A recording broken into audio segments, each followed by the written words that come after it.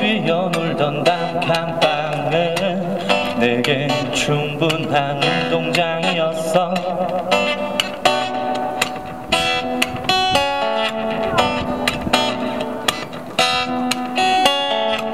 집 앞에서 쉬고 있던 울산 바위는 신나게 올라가 놀던 놀이공원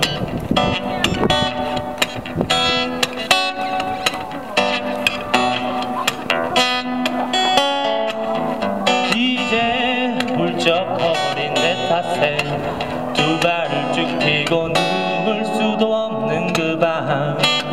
신발끈 묶을 때 한 발을 올리면 높이가 딱 맞는 바위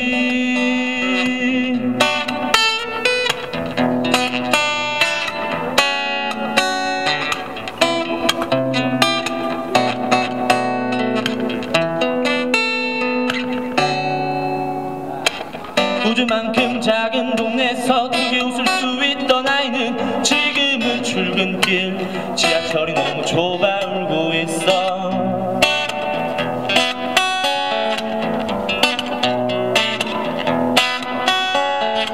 상자 속에 모아놨던 유리구슬이 보물이던 아이는 은행에 신만개 구슬을 가진 어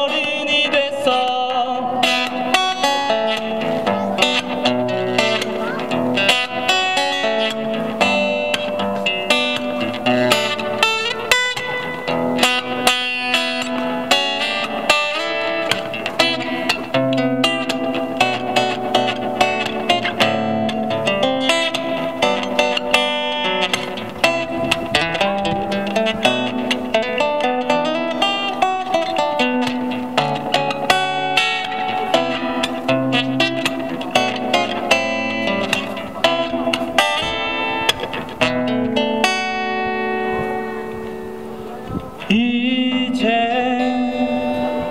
훌쩍 커버린 내 탓에 두 어깨를 쭉 펴고 걸을 수도 없는구나